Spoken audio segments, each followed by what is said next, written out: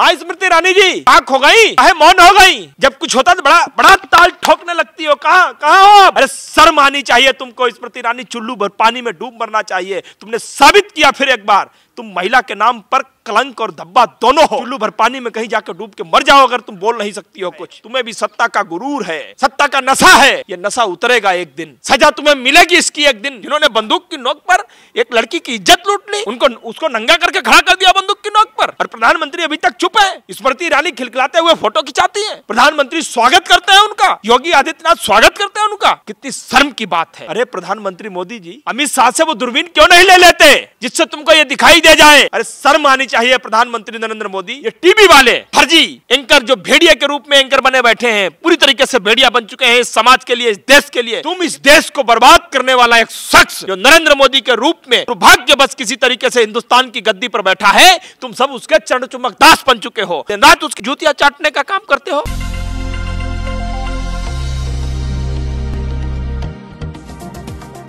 नमस्कार, मैं नूर झा और आप देख रहे हैं जनित आवाज़। जिस तरीके से उत्तर प्रदेश को महिलाओं के लिए सबसे सुरक्षित जगह मानी जाती है, वहीं पे बीएचयू यानी बनारस हिंदू यूनिवर्सिटी में एक लड़की का गैंग रेप किया जाता है। और जो गैंग रेप जो तीन लोगों ने किया है, उनको भाजपा के आईटी सेल में काम करते थे वो तीन लोग। तो इसी चीज़ पे बताया जा रहा है कि पाँच दिन में जब पीड़िता ने आरोपियों की पहचान कर ली थी उसके बाद दो महीने बाद क्यों हो, रही है गिरफ्तारी? जहाँ पे ये ये सब चीज़ें मामले सामने आ रहे हैं वहीं दूसरी तरफ़ प्रधानमंत्री नरेंद्र मोदी जी लक्षद्वीप में डुबकी लगाते हुए दिखाई दे रहे हैं। इसी चीज़ पर बातचीत करने के लिए हमारे साथ मौजूद हैं गोपाल तिवारी जी। सर क्या कहेंगे इस चीज़ को लेकर आप?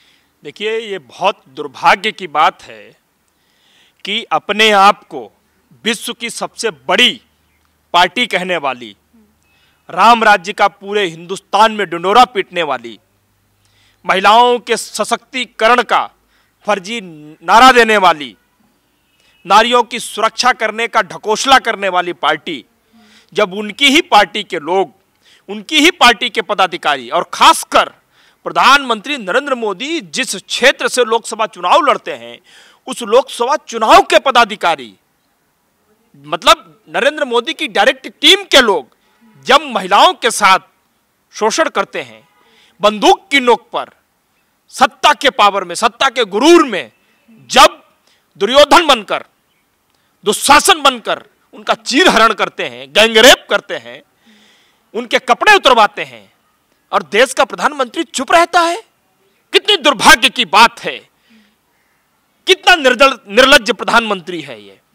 और ये मैं नहीं कह रहा हूँ ये उस पीड़िता के परिवार के लोग, उस समाज के लोग कह रहे हैं। अरे, जिस क्षेत्र ने आपको वोट दिया, जिस क्षेत्र ने आपको सलाखों पर बैठाया, उसी क्षेत्र की एक बेटी का गैंग रेप किया और करने वाला कोई और नहीं, आपकी टीम के लोग थे, आपकी पार्टी के पदाधिकारी थे। आपके सोशल मीडिया का कोई संयोजक था, कोई मीडिया का कन्वेनर, कोऑर्डिनेटर था। सक्षम पटेल, अभिषेक चौहान, कुणाल पांडे और वो पकड़े ना जाए। गैंग रेप करने के बाद आपने उनको मध्य प्रदेश चुनाव में भेज दिया। बलात्कार करने वाले लोग गैंगरेप करने वाले लोग मध्य प्रदेश में दो महीने घूमते रहे, चुनाव प्रचार में रहे। आपकी अहम मीटिंगों का हिस्सा रहे वो। कभी स्मृति ईरानी के साथ मीटिंग हो रही है उनकी कभी अमित शाह के साथ मीटिंग हो रही है, कभी योगी आदित्यनाथ के साथ मीटिंग हो रही है, कभी अनुराग ठाकुर के साथ मीटिंग हो रही है, कभी जेपी नड्डा के साथ मीटिंग हो रही है, कभी स्वतंत्र देव सिंह के साथ मीटिंग हो रही है, हर उस बड़े नेता के साथ मीटिंग हो रही है। और है कौन मीटिंग ज्वाइन करने वाले बलात्कारी, जिन्होंने बंदूक की नोक पर एक लड़की की इज़्ज़त लूट ली। उनको, उसको नंगा करके खड़ा कर दिया बंदूक की नोक पर। और प्रधानमंत्री अभी तक चुप है, स्मृति ईरानी खिलखिलाते हुए फ़ोटो खिंचाती है। प्रधानमंत्री स्वागत करते हैं उनका। योगी आदित्यनाथ स्वागत करते हैं उनका। कितनी शर्म की बात है। और आप सोचिए कि हम कहाँ पहुँच गए। कहाँ से? 2014 में, जब कभी भी किसी महिला के साथ अत्याचार होता था, याद करो निर्भया का वो कांड, दिल्ली की सड़कें भर गई थी। सरकार किसकी थी? कांग्रेस की। जैसे ही उसके खिलाफ बिगुल बचा, उसने न्याय किया कि नहीं किया? बहुत कम लोगों को पता है कि राहुल गांधी जी ने उनके परिवार में कितने लोगों की मदद की। कितने लोगों को पढ़ने लिखने के लिए पैसे दिए।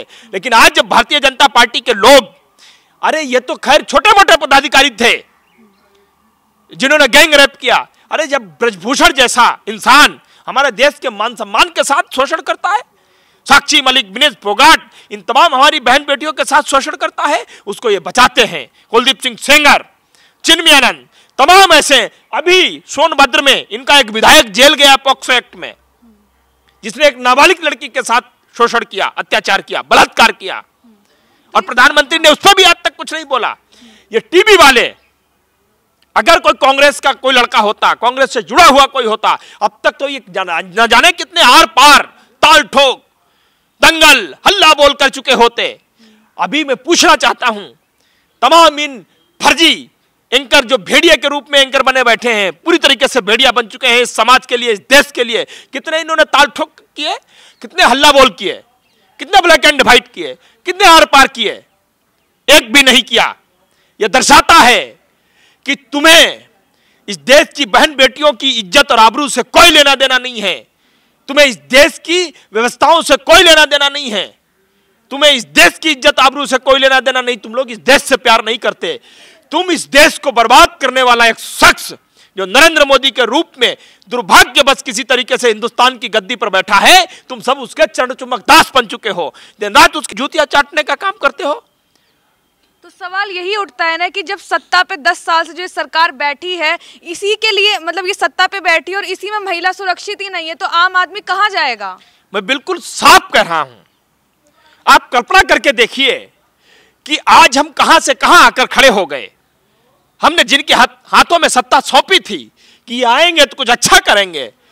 लेकिन जो अच्छा था, उसमें तो कुछ अच्छा नहीं कर सके, लेकिन जो अच्छा था, उसको इन्होंने खत्म करने का काम ज़रूर किया। आज हमारी बहन बेटियाँ असुरक्षित किससे गुंडा मवालियों से असुरक्षित नहीं है, भारतीय जनता पार्टी के कार्यकर्ताओं से, इनके विधायकों से, भारतीय जनता पार्टी के सांसदों से, भारतीय जनता पार्टी के मंत्रियों से असुरक्षित हैं। अरे, इनके लोग तो विधानसभा में बैठ करके पोर्न मूवी देखते हैं। सोचो, जिस विधानसभा में बैठ करके इस हिंदुस्तान के लिए विधान बनता है, कानून बनता है, नियम कानून बनाए जाते हैं, स्थापित किए जाते हैं, उस विधानसभा में बैठ करके इनके लोग पोर्न मूवी देखते हैं। इसका मतलब इनका चरित्र स्पष्ट दर्शाता है। और ये जो लड़के जिन्होंने गैंगरेप किया बीएचयू में, ये भारतीय जनता पार्टी में नरेंद्र मोदी से लेकर, अमित शाह से लेकर, जेपी नड्डा से लेकर, गृह मंत्री स्मृति ईरानी से लेकर, गृह मंत्री अमित शाह से लेकर, योगी आदित्यनाथ, स्वतंत्र देव सिंह, किसी के भी साथ ये आसानी से पहुँचते हैं मीटिंग ज्वाइन करते हैं, बातचीत करते हैं और लगातार फेसबुक पे अपडेट करते हैं। आपसे हमें प्रेरणा मिल रही है आपसे हमें प्रोत्साहन मिल रहा है आपसे हमें उत्साह मिल रहा है, इसको हम आगे लेकर के जाएँगे। क्यों भाई? सक्षम पटेल, अभिषेक चौहान, कुणाल पांडे को यही ट्रेनिंग दे रहे थे, बलात्कार करने की। हाँ स्मृति रानी जी कहा खो गई। कहे मौन हो गई? जब कुछ होता तो बड़ा बड़ा ताल ठोकने लगती हो। कहा कहा हो अब? अरे शर्म आनी चाहिए तुमको स्मृति रानी चुल्लू भर पानी में डूब मरना चाहिए। तुमने साबित किया फिर एक बार, तुम महिला के नाम पर कलंक और धब्बा दोनों हो। चुल्लू भर पानी में कहीं जाकर डूब के मर जाओ अगर तुम बोल नहीं सकती हो कुछ। अरे प्रधानमंत्री मोदी जी, अमित शाह से वो दूरबीन क्यों नहीं ले लेते? जिससे तुमको ये दिखाई दे जाए कि तुम्हारी ही लोकसभा क्षेत्र के तुम्हारे ही पदाधिकारी बंदूक की नोक पर इस हिंदुस्तान की सबसे सेफ़ यूनिवर्सिटी विश्वविद्यालय में जाकर के एक महिला के साथ गैंगरेप करते हैं, उसके कपड़े उतरवाते हैं, बंदूक की नोक पर इंसानियत को शर्मसार करते हैं। क्या उनके लिए कोई हिट एंड रन कानून नहीं बना सकते तुम? उनके लिए कोई बुलडोजर नहीं है? तेल खत्म हो गया क्या उसका? अरे शर्म आनी चाहिए प्रधानमंत्री नरेंद्र मोदी। याद रखना, अधर्म जब सर चढ़ करके बोलता है तो इंसान अंधा हो जाता है। तुम्हें भी सत्ता का गुरूर है, सत्ता का नशा है यह नशा उतरेगा एक दिन।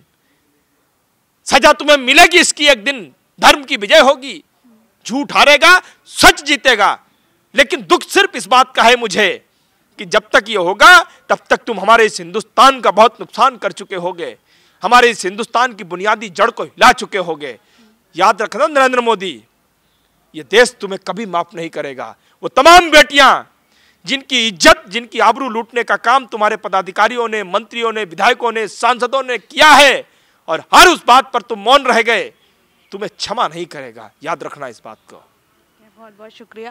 देखिए, किस तरीके से ये जो सत्ता में बैठी भाजपा सरकार है, महिलाओं के साथ किस तरीके का यौन उत्पीड़न करती ब्रिजभूषण की ही बात कर लीजिए। उसके बाद अब ये गैंग रेप का मामला सामने आया, जिसमें जो तीन आदमी हैं, वो भाजपा सरकार के आईटी सेल में ही काम करते थे। लेकिन दो महीने बाद उनकी गिरफ्तारी होती, क्यों बचा के रखा गया दो महीने तक उनको? और दो महीने बाद गिरफ्तारी होती, उसके बाद क्या लग रहा है, क्या ये लोकसभा चुनाव जो नज़दीक आ रहे हैं, उसकी राजनीति कर रहे हैं या उसकी तैयारी कर रहे हैं कि महिलाओं के वोट बैंक में इनके हाथ में आ सके? आपकी इसमें क्या राय है? हमें कमेंट बॉक्स में ज़रूर बताएँ।